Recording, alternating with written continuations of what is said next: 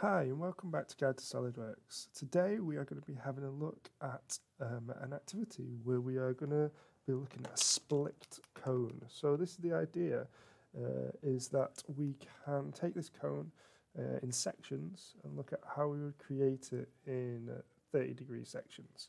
So we've got 30 degrees where we have material and 30 degrees where we have not got material uh, around a center point. So let's dive into this and let's have a look at how we'll go around it. So the first thing that I'm going to start off with is a base. So on the top plane, I'm going to sketch out a center, center rectangle um, and create a base. Now what I'm going to do is I'm going to create that 250 by 250.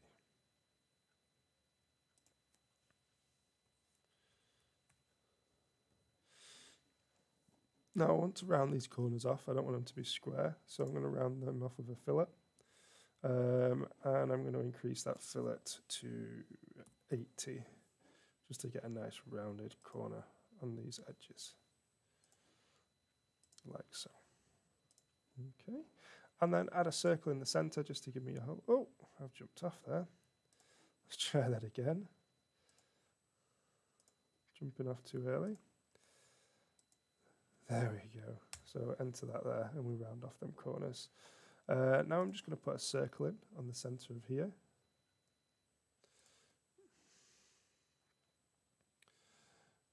That should be positioned to the centre point there, to our origin, and I'm just going to set a dimension across. Um, let's put that in at 150, like so.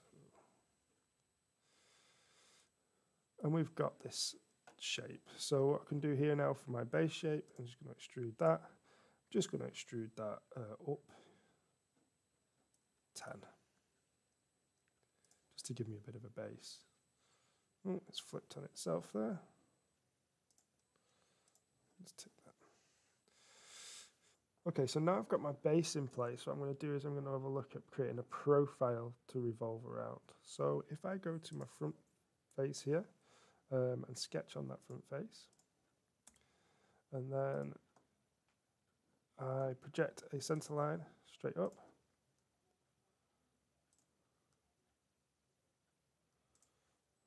I'm going to want that center line to be 300 tall.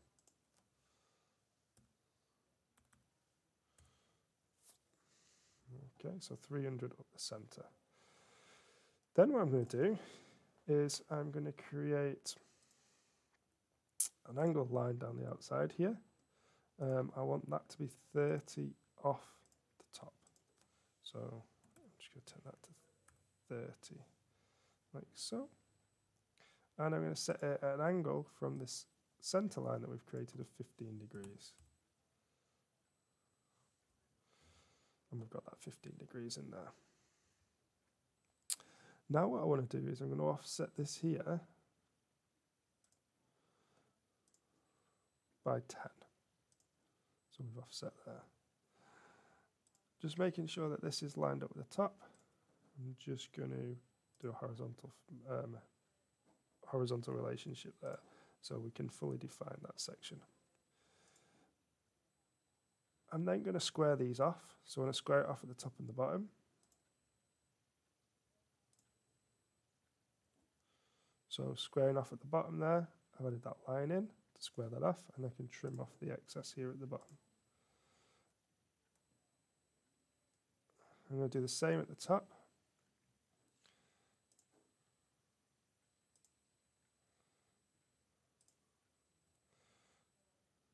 And I'm just going to make sure that this squares off here. Now I'm just taking it past so that I can set a relationship between here and component of the line that was already there, which is collinear, which means it goes uh, stays in line with it, which then allows me to trim off any excess. Trim that and trim that, giving me that profile that I need there. Okay, now I've got that profile, I can look at revolving that around the center line. Now I don't want to take it all the way around, I just want to take it 30 degrees. So we're just going to change that to 30. And effectively that will give me a piece of the side of my cone. Now once I've got that piece, what I can do then is go to circular pattern. And a circular pattern that section, I'm just going to follow that inside edge there. Okay, and you'll see it's picked up six pieces. It's going to want six pieces, equally spaced around 360 degrees. And it's done that there, as you can see in the preview. So I'm going to tick that off and I've got my six pieces coming up on the outside of the shape. Now it doesn't matter what size you could do them, you could make these smaller, set the, set the angle uh, to smaller or further apart, it's up to you. So you could modify that to however you wanted for them angles. Uh, the only thing you do need is something in for them to water connect to at the bottom. Now want to put a top on this, so I'm just going to create on the top of one of these sections a sketch and a circle off the centre Just going to run that out to the outside edge. Okay, and then I'm going to just go to extrude that down. Now, if I extrude this straight up, it's going to look silly because it's going to go straight up. If I flip it and go straight down, it's going to come into the sections and in them gaps there's going to be, as you can see, a space. So what I do is I want to create a draft angle here. And now it's drafted inwards. I want it to draft outwards 15 degrees and that should marry up with the angle of them faces or the ends of them pieces, like so, and turn into one piece. Now we've got that. Okay, so that leaves me now just cleaning this up. So I'm just going to um, take a hole in the top of here.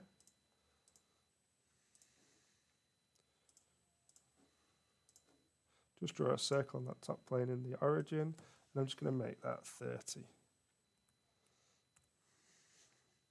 So I've got a circle going, circular hole through the top there. And features, and I can cut that through. And that will cut straight down through that section and drop it in there. Okay, so now what I've got left is just finishing off with uh, some fillets. So fillet, like so. And I'm going to set them to, that to 20. And I'm just going to round off these corners. It should pick up all them corners around the bottom edge.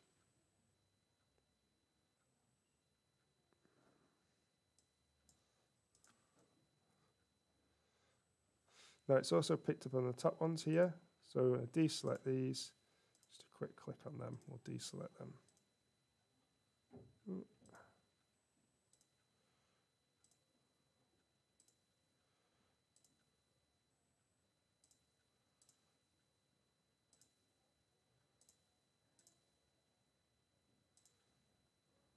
Okay, so now you can see it's picked up on all the bottom edges. So it just picked up on the bottom and the top edges there, so I just deselected the top ones. Now, if I tick that, we will fillet off them edges like so. Now here, we also want to do these inside top edges, so I'm going to fillet them as well. I need to change the size for this because the inside radius is going to be a lot smaller. So let's take that down to five.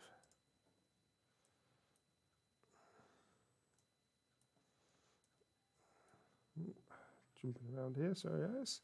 Uh, so we're just going to pick a couple of these bottom edges like so. And it should pick up all them inside edges there for us.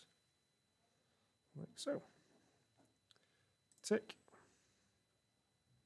We'll take them across. Okay, so now we've got a nice rounded inside edge there and a nice rounded inside edge at the bottom. Just let's put some radius on these. So what we'll do is we'll round off these top corners and these edges. I'm just going to set that as 0.5, so a small radius now. So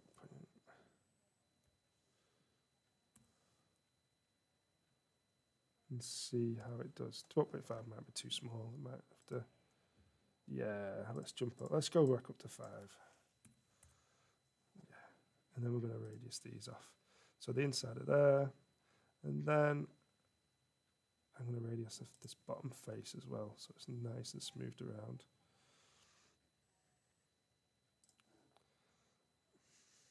Okay, and then we've got our cone. Now, all we need to do is set a material to this. So I'm going to apply a material to the body. You'll see it gives me some options now. So I've got plastics up here. I'm going to go for a um, low gloss soft touch plastic. I know it's going to set it as white, but I'm going to then automatically set the colour in the side here. Okay. And that will offset um, the colour to be a nice orange cone colour that we're used to seeing. Okay, so um, I know we've used a cone there, but there was the idea of that was just showing us how we could split up sections into an angular shape, like we have done created with this cone. Now in this one, we've used 30 degrees and 30 degrees uh, i.e. 30 degrees of material and 30 degrees of a gap. You could use whatever sizes you want, so you could change them angles to 15, say, or 10, um, and have more of them or less of them. It's completely up to you how you'd want to try that. Um, hopefully you enjoyed the content. Hopefully you've learned something new there. Um, if you uh, did like the content, please give us a big thumbs up.